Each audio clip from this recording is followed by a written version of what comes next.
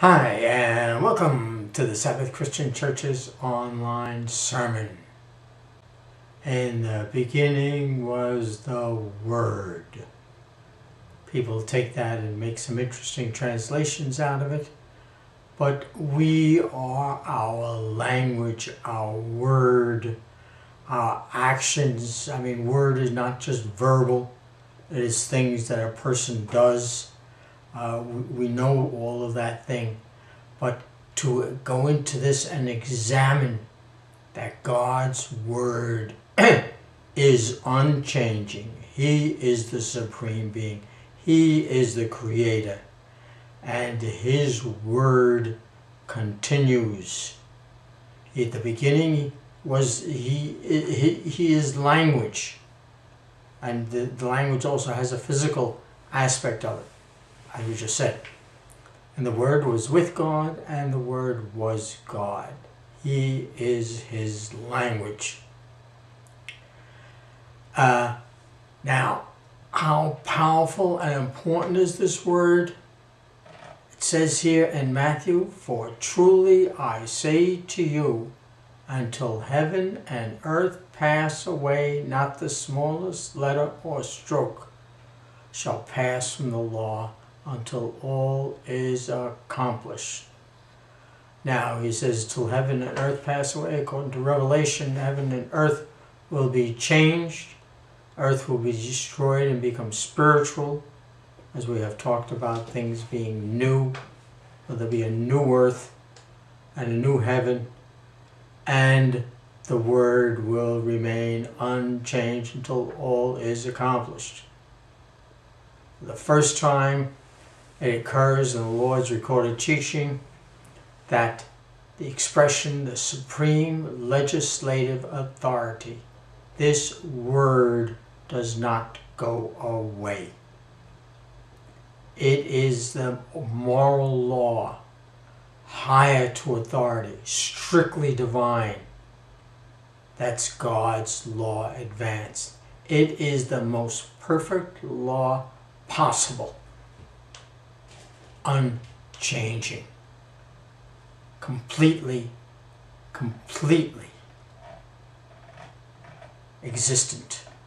For when we observe the law, the law, see, we become the language. When we observe the law, we become the language. Uh, when we don't steal, thou shalt not steal. When we don't steal, our whole being doesn't steal we become a part of the law. The law within and the law without, the law in our mind, the law in our bodies. God asserts it as his prerogative to give law to man, to men and women. It starts off uh, as Leviticus says, Then the Lord spoke to Moses, saying, Speak to the sons of Israel and say to them, I am He. I am the Lord your God. There is one individual person whose every action and word exemplifies Him, the most perfect there is to be, and that we can imitate and act upon. You shall not you shall not do what is done in the land of Egypt where you lived before, nor are you to do what is done in the land of Canaan, which they're going to, which goes back to Abraham again. Amazingly important person that we're working on. Where I'm bringing you, you shall not walk in their statues, not their statues, his statues, the eternal law, the perfect law, the unchanging law he said, You shall, uh, you ought to perform my judgments and keep my statutes to live according with them, in accord, in, in accord with them, or in accordance with them.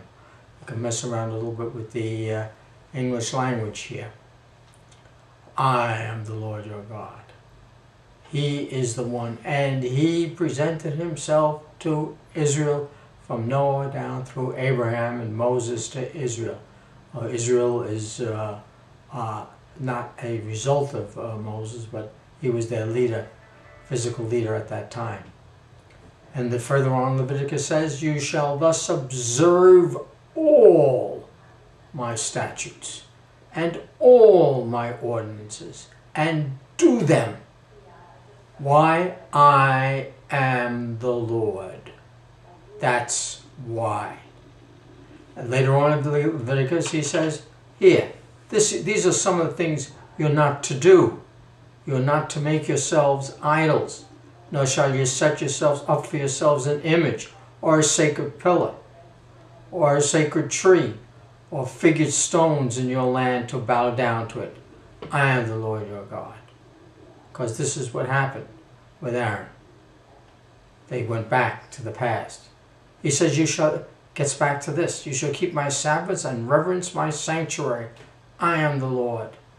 He is the one. He is the creator. He's the all-knowing and the all-giving. If you walk in my statutes and keep my commandments so as to keep them out, then I shall give you the rains in their season, so they have food.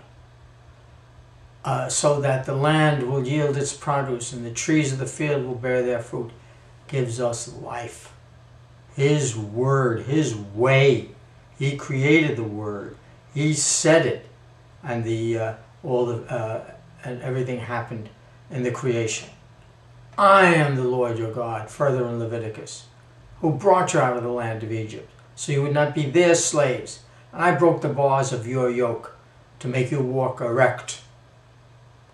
But if you do not obey me and do not carry out all these commandments, he goes on and says it again and again. It's, it's just so important. Instead, you reject my statutes. If you reject my statutes, and if my soul abhors my ordinances, oops, I lost. Uh, so as not to carry out all my commandments, and so to break my covenant. The, the commandments are a covenant. This is an agreement. God gives us of Himself, His Word, His everlasting Word. He gives that to us, and us having that from Him makes us a part of the covenant of life, eternal life. He says, uh, I in turn will do this to you. I will appoint you a sudden terror, consumption, fever, and waste away your eyes. All the bad things come, especially to the people who ought to know better. People who don't know uh, have all these problems and everything else too. But he, these people was selected, gave them the word, did all these things for them. He said, I'll set my face against you. And those who hate you will rule over you, and you will flee when no one is pursuing you. The connection with God gives us life, physical life and eternal life. When shall the laws remain steadfast? Until heaven and earth pass away. And Matthew goes on to say, Do not suppose that you can say to yourselves, We have Abraham for our father. Back to Abraham again. So important a person. And then, as we've noted before, we'll say it again. For I say to you that from these stones God is able to raise up children to Abraham. Not only did he could he raise up the stones, but he raised up Gentiles to be children of Abraham. How important is Abraham to those who keep God's word, keep his word, everlasting word. For of old you founded the earth, and the heavens are the work of your hands. His language, his words, even they will perish, but you endure, and all of them will wear out like garments, like clothing. You will change them, and they will be changed. God gave His word to people, and while everything else goes away, to remain in the image of God in every word, physical, verbal, mental, spiritual, and every way, your years will not come to an end. Amen. And thank you for watching and listening.